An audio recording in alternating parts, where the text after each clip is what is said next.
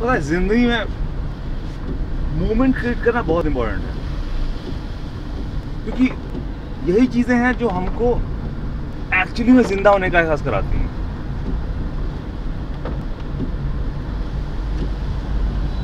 सुन रहा ना bro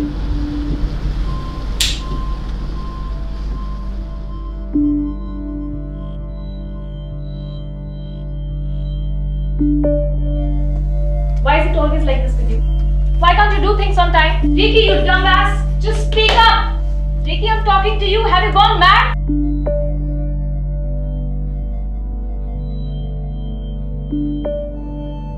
You must aim to find yourself. I can help you with it. उसकी writing से ज़्यादा मुझे इस चीज़ में इंटरेस्ट है कि कि उसने ये सब लिखा कैसे आई I मीन mean, क्या हुआ होगा उसके साथ उसकी ज़िंदगी में कैसे एक्सपीरियंसेस रहे होंगे? क्या चाहते हो मुझसे? बता दो। प्लीज़ बता दो। क्या चाहते हो मुझसे? छोड़ क्यों नहीं देते मुझे?